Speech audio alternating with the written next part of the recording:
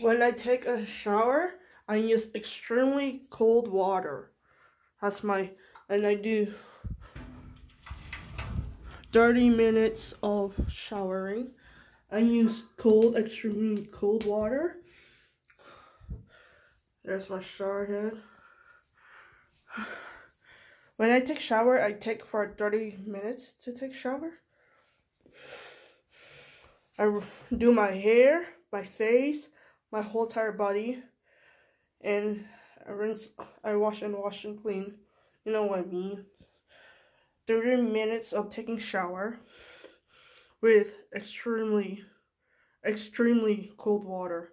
I don't use hot, I don't use warm, I don't be in the middle, and so on. I always, uh, most of the times, I take shower extremely cold. So yeah.